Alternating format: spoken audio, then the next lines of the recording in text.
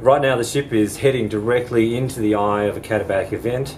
Uh, we've got 70 knot winds outside. We're probably um, 10 to 15 miles from the coast and uh, it's quite impressive. After being in the sea ice pack, where it's been relatively calm, we're now back in a very wavy environment.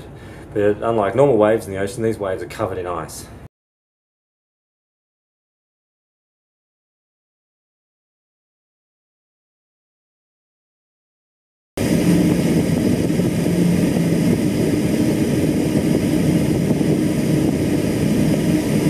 We've come at a very interesting time of year. It's the, the freeze up, if you like, when the Antarctic sea ice pack is growing.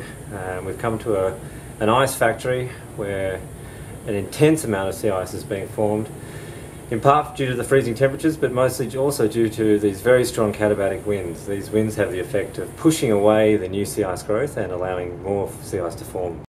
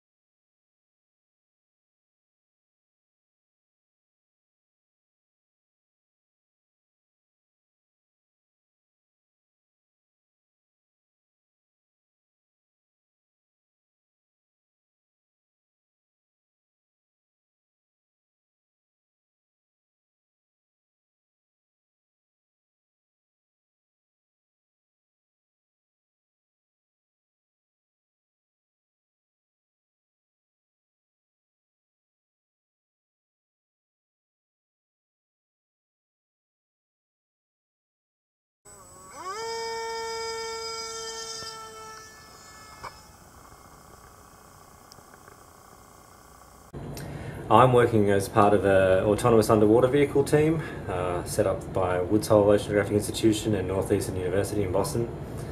I've also brought along a variety of uh, unmanned aerial systems that have come out of the Terra Luma group at the University of Tasmania. Uh, together, these, uh, these kind of exciting new platforms are looking at new ways of expanding our observations above and below the sea ice.